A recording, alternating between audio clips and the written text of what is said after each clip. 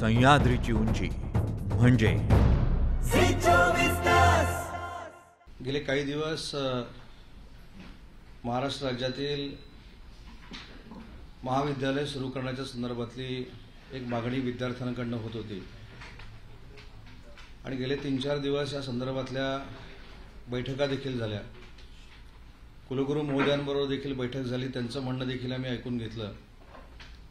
आणि कालच मी असं सांगितलं होतं की आदरणीय मुख्यमंत्री महोदयांच्या आदेशानं की आम्ही महाविद्यालय लवकरात लवकर एस ओ पी तयार करून सुरू करू. आजच मुख्यमंत्री महोदयांनी ही महाविद्यालय सुरू करायला मान्यता दिलेली आहे. येत्या पंधरा फेब्रुवारीपासून ही महाविद्यालय सुरू होतील. महाविद्यालय सुरू होत असताना काही नियमावली जी आहे ती यू जी सीनं गाईडलाईन त्याची दिलेली आहे त्याची अंमलबजावणी विद्यापीठानं केली पाहिजे. अशा पद्धतीचा जी आर आज आम्ही उच्च व तंत्रशिक्षण विभागामार्फत निर्गमित केलेला आहे. विद्यापीठाअंतर्गत येणारी जी कॉलेजेस आहेत प्रायव्हेट युनिव्हर्सिटी अंतर्गत येणारी जी कॉलेजेस आहेत ही सुरू करत असताना एक महत्त्वाची भूमिका त्याच्यामध्ये विद्यापीठांची किंवा प्रायव्हेट युनिव्हर्सिटींची असली पाहिजे. की यू जी सीनं जे म्हटलेलं आहे क्लासरूमची जी व्यवस्था आहे त्याच्यामध्ये किती विद्यार्थ्यांची बसण्याची व्यवस्था आहे आणि त्या बसण्याच्या व्यवस्थेच्या पन्नास टक्के रोटेशन पद्धतीनं ही विद्यार्थ्यांची संख्या घेऊन कॉलेजेस सुरू करायला महाराष्ट्र शासनानं आज परवानगी दिलेली आहे. याचा अर्थ पन्नास टक्के विद्यार्थ्यांच्या उपस्थितीमध्ये ही महाविद्यालय सुरू होतील. आणि ही महाविद्यालय सुरू होत असताना यू जी सीनं देखील काही गाईडलाईन विद्यापीठांना दिलेल्या आहेत. आणि त्या गाईडलाईनमध्ये सगळ्यात महत्त्वाची गाईडलाईन जी अशी आहे की त्यांनी संबंधित जिल्हाधिकारी संबंधित यंत्रणा या यंत्रणांना पायाभूत सुविधांची पूर्ण माहिती दिली पाहिजे. कोविडचं प्रमाण कशा पद्धतीनं आहे हे जिल्हाधिकाऱ्यांनी ठरवलं पाहिजे आणि त्याच्यानंतर विद्यापीठांनी आपली विद्यालयं सुरू करण्याचा निर्णय घेतला पाहिजे. पण ही विद्यालय विद्यापीठं पंधरा फेब्रुवारीपासून सुरू करतात करू शकतात अशा पद्धतीचा निर्णय आज सरकारनं घेतलेला आहे. पण हा निर्णय घेत असताना याची पार्श्वभूमी आहे की तीन दिवसापूर्वी तेराही कुलगुरूंच्या समवेत महाराष्ट्र शासन म्हणून आमची बैठक झाली. या बैठकीमध्ये जो पहिला मुद्दा मी आपल्याला सांगितलं की पन्नास टक्के उपस्थितीमध्ये ही विद्यालय सुरू झाली पाहिजेत. ही विद्यालयं सुरू होत असताना वसतिग्रहांचा जो प्रश्न आहे तो टप्प्याटप्प्यानं विद्यापीठांना आम्ही अधिकार दिलेले आहेत सुरू करण्याचा. पण सध्या पंधरा फेब्रुवारीला सुरू होताना फक्त कॉलेजेस सुरू होतील अशा पद्धतीचा निर्णय आम्ही घेतलेला आहे. विद्यार्थ्यांच्या परीक्षा या देखील ऑनलाईन ऑफलाईन अशा पद्धतीनं म्हणजेच विद्यार्थ्यांच्या सोयीच्या पद्धतीनं घ्यावा. अशी चर्चा जी कुलगुरूंच्या बैठकीच्या निमित्तानं झाली. तर तो देखील निर्णय विद्यापीठाने करावा. पण तो निर्णय विद्यापीठानं करत असताना जे कुलगुरूंच्या समवेत बैठक झालेली आहे ऑफलाईन आणि ऑनलाईन हे दोन्ही ऑप्शन खुले ठेवून या परीक्षा घेण्याची परवानगी महाराष्ट्र शासनानं द्यावी अशा पद्धतीची मागणी कुलगुरूंनी केलेली होती. आणि म्हणून विद्यापीठांनाच आम्ही अधिकार दिलेले आहेत की कशा पद्धतीनं परीक्षा द्यायच्या. पण परीक्षा देत असताना एक महत्त्वाची गोष्टीचा विचार विद्यापीठांनी केला पाहिजे. काही विद्यार्थी हे गेले नऊ महिने हे ग्रामीण भागामध्ये केलेले आहेत. म्हणजे उदाहरणार्थ मुंबईचे विद्यार्थी हे ग्रामीण भागामध्ये जर असतील तर त्यांना ऑनलाईन एज्युकेशन घ्यायचं आहे की ऑफलाईन एज्युकेशन घ्यायचं आहे म्हणजे फिजिकली येऊन एज्युकेशन घ्यायचं आहे की ऑफलाईनच घ्यायचं आहे हा ऑप्शन देखील विद्यार्थ्यांना खुला ठेवण्यात आलेला आहे. सगळ्यात महत्त्वाची विद्यार्थ्यांची जी एक शंका असते पालकांची शंका असते की उपस्थितीचं काय? तर पंच्याहत्तर टक्के उपस्थिती अनिवार्य जरी असली तर या वर्षापुरती कोविडच्या पार्श्वभूमीवर ही पंच्याहत्तर टक्के उपस्थितीची उपस्थितीचं कंपल्शन हे विद्यापीठ करणार नाही आणि ते विद्यापीठानं करू नये अशा पद्धतीची परवानगी विद्यापीठाच्या कुलगुरूंनी काल आमच्याकडे मागितलेली होती. आणि म्हणून त्यांनी जी काय मागणी केलेली होती त्या मागणीचं मिनिट जोडूनच आज आम्ही हा जी आर प्रत्येक विद्यापीठाला निर्गमित करतोय. वसतिगृह सुरू करत असताना स्ट्रक्चरल ऑडिट फायर ऑडिट ही सगळी ऑडिट करूनच वसतिगृह सुरू करावीत अशा पद्धतीचा देखील निर्णय आम्ही परवाच्या बैठकीमध्ये घेतला आणि तीच सक्ती विद्यापीठांना राहणार आहे. विद्यापीठ अनुदान आयोगाच्या ज्या गाईडलाईन्स आहेत म्हणजे युजीसीच्या ज्या गाईडलाईन्स आहेत त्या पूर्णपणे त्याचा अभ्यास करूनच विद्यापीठांनी ही महाविद्यालय सुरू केली पाहिजेत. कारण युजीसीच्या गाईडलाईनमध्ये सगळ्यात महत्त्वाच्या ज्या गोष्टी दिलेल्या आहेत त्याच्यामध्ये शिक्षण मंत्रालय आणि युजीसी यांचा सल्ला घेऊन भविष्यातल्या कोविडच्या संदर्भातल्या परिस्थितीवर निर्णय कसे घ्यायचे हे शासनाची सल्लामसलत करावं युजीसीची सल्लामसलत करावं असं युजीसीनं गाईडलाईनमध्ये म्हटलेलं आहे. त्याच्यानंतर प्रवेश शिक्षण पद्धती अभ्यासक्रम पूर्ण करणं परीक्षा मूल्यमापन निकाल जाहीर करणं याबाबत जी विद्यार्थ्यांमध्ये अनिश्चितता वाटते तर त्याच्या संदर्भात देखील विद्यापीठाने तातडीनं विद्यार्थ्यांशी संवाद साधून त्यांच्या मनातल्या ह्या शंका दूर कराव्यात अशी देखील युजीसीचं म्हणणं आहे. सगळ्यात युजीसीचं म्हणणं आहे म्हणजे आपण जे मास्क वापरतो म्हणजे मुखवटा घालणे त्याच्यानंतर श्वसन स्वच्छता ठेवणे हाताची स्वच्छता ठेवणे शारीरिक अंतर ठेवणे हे सगळे जे काही कोविडचे प्रोटोकॉल आहेत हे प्रोटोकॉल पाळले गेले पाहिजेत अशी युजीसीची गाईडलाईन आणि तीच सक्ती महाराष्ट्र शासनाची देखील आहे. या सगळ्याचं बंधन ठेवूनच ही महाविद्यालयं सुरू करावीत अशा पद्धतीनं देखील आम्ही विद्यापीठांशी चर्चा केलेली आहे.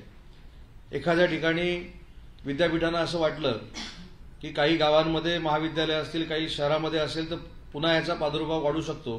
तर त्याची तात्काळ दखल घेऊन कुलगुरूंनी जिल्हाधिकाऱ्यांशी चर्चा केली पाहिजे. आणि जिल्हाधिकारी हे डिझास्टर मॅनेजमेंट अथॉरिटीचे जिल्ह्याचे अध्यक्ष असल्यामुळं जिल्हाधिकारी जे सांगतील त्या पद्धतीनं पुढची वाटचाल ही विद्यापीठाने केली पाहिजे अशा पद्धतीच्या देखील सूचना आम्ही केलेल्या आहेत. आणि म्हणून मला असं वाटतं की गेले कित्येक दिवस कॉलेजेस कधी सुरू होणार आहेत ही जी एक काही शंका होती त्याला आज पूर्णविराम मिळालेला आहे. पंधरा फेब्रुवारीपासून कॉलेजेस सुरू करण्याचा आपण निर्णय घेतला आहे पण पंधरा फेब्रुवारीपासून कदाचित पाच मार्चपर्यंत हा पहिला टप्पा असेल तिथं पन्नास टक्क्याचं कंपल्शन असू शकतं. भविष्यात पुन्हा एकदा जिल्हाधिकाऱ्यांशी चर्चा करून पूर्णतः शंभर टक्के फिजिकली सुरू करावं का याच्यावर देखील चर्चा विनिमय केला जाईल. परीक्षांच्या बाबतीमध्ये सगळे अधिकार जे आहेत ते विद्यापीठांना दिलेले आहेत. आणि विद्यापीठानं जे आमच्याकडे शिफारस केली त्याच्यामध्ये त्यांचं असं म्हणणं आहे की परीक्षा घेताना देखील ऑफलाईन आणि ऑनलाईन हे दोन्ही पर्याय हे विद्यार्थ्यांसमोर खुले असले पाहिजेत आणि त्याला आम्ही सहमती दर्शवलेली आहे. शैक्षणिक वर्ष पूर्णपणे संपत आलेलं आहे. आता विद्यार्थी कॉलेजमध्ये किंवा विद्यापीठात विद्यापीठात जातील ते थेट परीक्षेलाच जातील. अभ्यासक्रम पूर्ण झालेला नाही अपूर्ण आहे. तर एकूण परीक्षांना विद्यार्थी कसे सामोरे जातील? कारण अभ्यास पूर्ण झालेला नाही. आपण मुंबई विद्यापीठाचा जर विचार केला तर सोळा ऑगस्ट पासूनच ऑनलाईन एज्युकेशनला सुरुवात झालेली आहे. त्याच्यामुळं मुंबई विद्यापीठ असेल किंवा मी काल जे आढावा घेतलेली सगळीच विद्यापीठं असतील फर्स्ट इयर सोडून सगळ्यांचा सिलेबस हा अतिशय चांगल्या पद्धतीनं ऑनलाईन पद्धतीनं सुरू आहे असं मला विद्यापीठाने सांगितलंय. आणि त्या बाबतीमध्ये देखील हा निर्णय आहे की ज्यांना जिथे आवश्यकता भासेल तिथे त्यांनी ऑफलाईन एक्झाम घ्याव्या आणि ज्या ठिकाणी विद्यार्थ्यांना वाटतं की ऑनलाईन एक्झाम घ्यावी तिथं ऑनलाईन एक्झाम घ्यावी अशा पद्धतीचा निर्णय आम्ही घेतला आहे ते सिलेबसचा प्रॅक्टिकल जो संदर्भ विषय आहे अ, जसं काही दहावी आणि बारावीच्या विद्यार्थ्यांसाठी काही सिलेबस कट करण्यात आला यावर्षी तसं काही करण्याचा अ, सूचना काय आहेत का मी जसं सांगितलं की ऑगस्टपासून सेकंड इयर आणि ज्या सिलेबस सुरू आहे त्याच्या बाबतीत कुलगुरूंचं म्हणणं असं की तो सिलेबस कमी करण्याची आवश्यकता नाही. पण युजीसीनं गाईडलाईन दिली की फर्स्ट इयर जे सुरू होत आहेत त्याचा अभ्यासक्रम जर पंधरा टक्के वीस टक्के कमी करावा लागला तर तो विद्यापीठाने कमी करावा अशी गाईडलाईन आहे आणि त्याच्यावर प्रत्येक विद्यापीठ विचार करते आहे. महाविद्यालयांचा समावेश करून विद्यार्थ्यांची शुल्क आकारणी केली जाते वर्षभर कॉलेजेस सुरू नाही तरी विद्यार्थ्यांकडून पूर्ण वर्षाची फी आकारलेली आहे तर ही फी त्यांना विद्यार्थ्यांना परत मिळणार का मला असं वाटतं की फीच्या बाबतीमध्ये एक स्वायत्त कमिटी आमची आहे. एफ आर ए ती फी फायनल करत असते. पण कालच्या बैठकीमध्ये मी सगळ्या कुलगुरूंना असं सांगितलं की फीची सक्ती कुठच्याही महाविद्यालयानं विद्यार्थ्यांवर करू नये. त्यांना देखील फी भरण्याची संधी उपलब्ध करून द्यावी. आणि एफ आर एच्या कमिटीशी चर्चा करून त्याच्यामध्ये काही आम्हाला कन्सेशन देता येतं का याचा विचार भविष्यामध्ये आम्ही करू. पण ती शेवटी समिती जी आहे त्याचे अध्यक्ष देखील जे आहेत ते माजी न्यायाधीश आहेत. आणि म्हणून त्या समितीला जे अधिकार दिलेत त्याच्यामध्ये आम्ही इंटरफेअर करू शकत नाही. पण एखादी सूचना जर त्यांना करायची असेल किंवा विनंती करायची असेल तर विद्यार्थ्यांसाठी विद्यार्थ्यांसाठी आम्ही नक्की करू त्यांना. नाही नाही अनेक महाविद्यालयांनी फी शुल्क आत्ताच घेतलेलं त्याने. मार्च एप्रिल जून मध्ये जेव्हा आपण कॉलेज सुरू होतं ना त्यावेळेस घेतलेलं विद्यार्थ्यांकडून. नाही फी जर घेतलेली असेल आणि एफ आर ए आणि उच्च व तंत्र शिक्षण विभाग यांच्याशी चर्चा करून त्याच्यामध्ये काही कमी करायचं ठरलं तर ती फी पुढच्या वर्षीसाठी वापरली जाईल. कास्ट संदर्भात आता काही विद्यार्थ्यांना कास्ट मिळाली. विद्यार्थ्यांना त्या त्या कॅटेगरीमध्ये प्रवेश दिला जात नाही अनेकांची कास्ट व्हॅलिडिटी अजूनही मिळालेली नाही. फक्त पावत्यांवर प्रवेश काही ठिकाणी दिला जात नाही. तर त्यासाठी काय अजून मुदतवाढ किंवा काय पर्याय वगैरे सूचना देणार आहात? पावत्यांवर ह्याला जोडून की सामाजिक न्याय विभागानं काही दिवसापूर्वी निर्णय केला पण कॉलेज दुसऱ्या पहिल्या लिस्टमध्ये जरी सांगितलं जातं की तुम्ही जरी आता तुम्ही व्हॅलिडिटी देताय पण व्हॅलिडिटी दिली तरी तुम्हाला किंवा होणार नाही रिइन्बर्समेंट होणार नाही. तुम्हाला ओपन मधूनच पुढील हो, नाही नाही अशा पद्धतीनं कॉलेज कुठचं करत असेल आणि तशी तक्रार जर आमच्याकडे प्राप्त झाली तर आम्ही नक्की कायद्याला अनुसरून त्यांच्यावर कारवाई करू कारण आम्ही जो निर्णय घेतलेला आहे हा विद्यार्थ्यांच्या हिताचा निर्णय घेतला आहे ज्यावेळी कास्ट व्हॅलिडिटी करून मिळत नव्हती त्यावेळी पावतीवर देखील ऍडमिशन द्यायचा आम्ही निर्णय घेतला आणि एकतीस तारखेपर्यंत आपण सांगितलं विद्यार्थ्यांना की त्या पद्धतीचे प्रमाणपत्र द्या. पण प्रमाणपत्र दिल्यानंतर जर एखादं कॉलेज किंवा एखादं म- महाविद्यालय सांगत असेल की आम्हाला तशा पद्धतीचे आदेश नाही. आणि तशी तक्रार जर विद्यार्थ्यांनी आमच्याकडे दिली तर आम्ही नक्की त्याच्याबद्दल सुवर्णमध्ये काढू. वेळ पडल्यास त्याच्यावर कारवाई करू. कॉलेज सुरू करण्याच्या ज्या सूचना आम्ही दिलेल्या आहेत किंवा जी आर जो काढलेला आहे त्याच्यामध्ये मला असं वाटतं की कुलगुरूंच्या सगळ्यांच्या म्हणण्यानुसार पहिली प्रॅक्टिकल्सच सुरू होतील. म्हणजे सायन्स टेक्नॉलॉजीचे वर्ग जे आहेत ते पहिले सुरू होतील प्रॅक्टिकल्स पहिले सुरू होतील असं काही विद्यापीठांचं म्हणणं आहे. पण काही विद्यापीठांचं म्हणणं असं आहे की आपण जर सायन्स सुरू केलं कॉमर्सच्या विद्यार्थ्यांना बोलवलं नाही आर्ट्सच्या विद्यार्थ्यांना बोलवलं नाही तर विद्यार्थ्यांमध्ये पॅनिकनेस वाढू शकतो. आणि म्हणून हे सगळे अधिकार आपण विद्यापीठाला दिलेले आहेत. त्यांच्या प्रायोरिटीप्रमाणे त्यांनी ही कॉलेजेस सुरू करावी. ऑफलाईन आणि ऑनलाईन परीक्षेचा तुम्ही मुद्दा मांडला. प्रत्येक विद्यापीठ आपल्यानुसार घेणार समायिकता राहणार नाही पूर्ण राज्यामध्ये. समजा मुंबई विद्यापीठाने ऑनलाईन घेतली. आणि ग्रामीण भागातल्या एका विद्यापीठाने ऑफलाईन परीक्षा घेतली. तर विद्यार्थ्यांमध्ये जी स्पर्धात्मक पातळी आहे ती एका लेवलला राहणार नाही. नाही हे म्हणणं बरोबर आहे परंतु मागच्या वेळी ज्या ऑनलाईन एक्झाम झाल्या त्याच्यामध्ये आम्हाला असं वाटत होतं की आम्हाला त्याच्यामध्ये शंभर टक्के यश येईल. परंतु नांदेड विद्यापीठ असेल औरंगाबाद विद्यापीठ असेल इथे आम्हाला ऑफलाईन विद्यार्थ्यांना देखील परीक्षेला बसवावं लागलं. त्याच्यामुळं जरी आपण ऑनलाईनचा एमसीक्यू पद्धतीचा वापर पूर्ण महाराष्ट्रामध्ये केला तरी गडचिरोलीतला काही भाग असेल नांदेडचा काही भाग असेल औरंगाबादचा काही भाग असेल या विद्यार्थ्यांना आपल्याला ऑफलाईन पद्धतीनं बसवावंच लागलेलं आहे. आणि म्हणून ते आपण विद्यापीठांवर जबाबदारी दिली की ऑफलाईन करावं की ऑनलाईन करावं. पण ते विद्यार्थ्यांना विश्वासात घेऊन करावं सर आपने बोला था कि अटेंडेंस का जो 75 परसेंट मार्क है वो वेव ऑफ किया है. कितने हद तक वेव ऑफ किया है? कम्प्लीटली वेव ऑफ करने की बात है या अ, कोई और 25 परसेंट फिफ्टी परसेंट क्या अटेंडेंस का लेवल है? त्यामध्ये एक महत्वाची गोष्ट अशी आहे की पंच्याहत्तर टक्के उपस्थिती असावीच अशा पद्धतीचं एक जे काही बर्डन होतं विद्यार्थ्यांवर त्याच्यातनं त्यांना सध्या आम्ही मोकळं केलेलं आहे. सध्या कॉलेजेस सुरू होऊ देत. ऑनलाईनवर हा एक्झामचा म्हणजे एज्युकेशनची सिस्टीम चालू असल्यामुळं तिथं काही प्रश्न येत नाही आहे पण आता फिजिकली ज्यावेळी विद्यार्थी येतील तरी त्यांच्या दृष्टीनं कुठेही अडचण येणार नाही अशा पद्धतीनंच आम्ही निर्णय घेऊ. त्याच्यामुळं आता तरी पंच्याहत्तर टक्के प्रेझेंटीची आवश्यकता का नाही आहे कारण कॉलेजेस आता पंधरा फेब्रुवारीपासून सुरू होणार आहेत.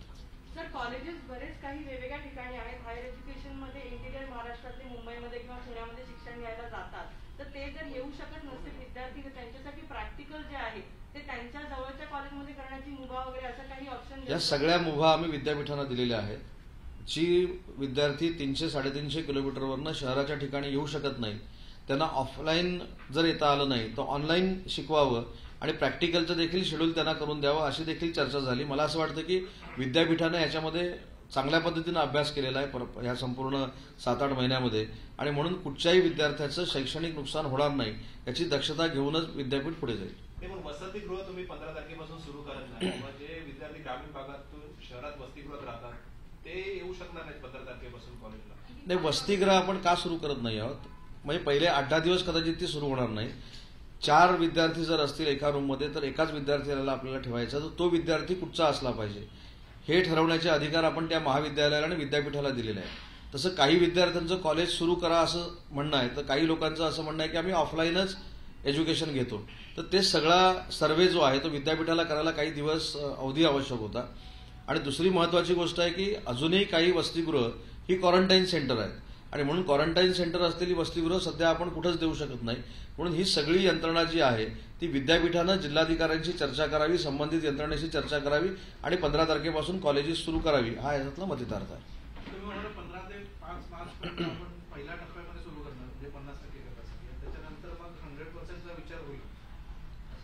नाही आपण पहिला पन्नास टक्के पाच मार्च म्हणजे मी अंदाज सांगितले की पहिलं महिनाभर आपल्याला बघावं लागेल की आपण जो आता कॉलेजेस सुरू करण्याचा जो निर्णय घेतलेला आहे तो कशा पद्धतीनं त्याची अंमलबजावणी होते कशा पद्धतीनं आपण त्याच्यामध्ये पुढे जाऊ शकतो एस पीचं पालन होतंय की नाही ह्या सगळ्या गोष्टी एक महिन्याभरामध्ये बघावं लागतील म्हणून कॉलेज सुरू करायचा निर्णय आपण आता घेऊन? मग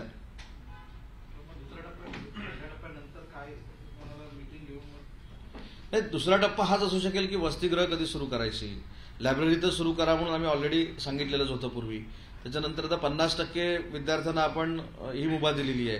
आता याच्यामधनं काय होणार आहे की सोमवारी जर ऑनलाईनचा वर्ग झाला तर मंगळवारी तुम्हाला ऑफलाईनचा करावा लागेल. त्याच्यामुळं रोटेशन कसं ठरवायचं हे देखील युजीसीनं असं सांगितलंय की राज्य शासनाच्या सल्ल्यानं युनिव्हर्सिटीनं ठरवावं.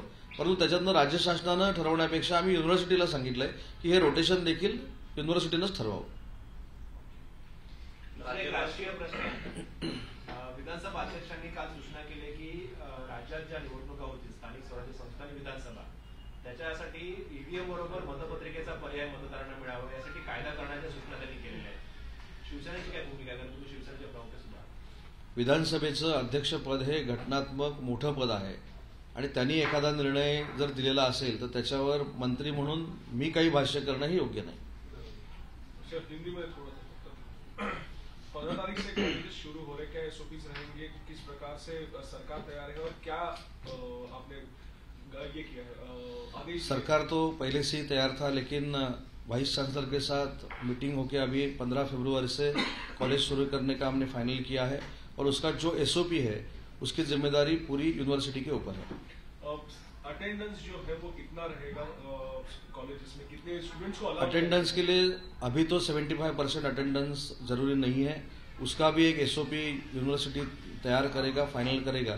और मेरे ख्याल से 75 परसेंट प्रेजेंट ही अभी तो आवश्यक नहीं है। और क्लासरूम में कितने स्टूडेंट्स आ सकते हैं? क्योंकि हमने देखा है कि डिग्री कॉलेज में हो या फिर जूनियर कॉलेज में सौ से ज़्यादा स्टूडेंट्स क्लास में रहते हैं। तो कितने स्टूडेंट्स जो है वो आ सकते हैं? क्लासरूम में क्लासरूम 50 परसेंट स्टूडेंट लेके कॉलेज शुरू करने का हमने फाइनल किया है। एग्ज़ाम के बारे में कैसे होगी? क्योंकि ऑनलाइन ऑफलाइन का बहुत डिबेट इससे पहले भी देखा था तो उसके बारे में क्या डिसीज़न एग्ज़ाम के बारे में कुलगुरु महोदय ने जो हमसे मीटिंग में बात की है वो ऑप्शन है। अगर स्टूडेंट लोगों को ऑफलाइन जाना है तो ऑफलाइन भी जा सकते हैं ऑनलाइन जाना है तो ऑनलाइन भी जा सकते हैं। पॉलिटिकल सवाल जो बैलेट पेपर को लेके चर्चा बढ़ रही है। नाना पटोले ने कहा है कि विधानसभा अध्यक्ष जो है उनका घटनात्मक पद हमसे बहुत बड़ा है। इसलिए उसके ऊपर भाष्य करना उचित नहीं लेकिन पार्टी करके अगर हम देखा जाए तो आप आपकी पार्टी ने भी इससे पहले बहुत सवाल या निशान उठाए ईवीएम को लेके। तो क्या अगर ऐसा डिसीज़न आता है तो शिवसेना उसे सपोर्ट पार्टी का जो डिसीज़न है वो आदरणीय उद्धव साहब फाइनल करते हैं। इसलिए वो जो डिसीज़न है उद्धव साहब बताएँगे। त्यानं राज्यपाल महोदयांशी चर्चा करून सकारात्मक चर्चा करून माझं म्हणणं सगळं राज्यपाल महोदयांना पटवून देऊनच कॉलेजेस सुरू करण्याचा निर्णय आम्ही घेतो.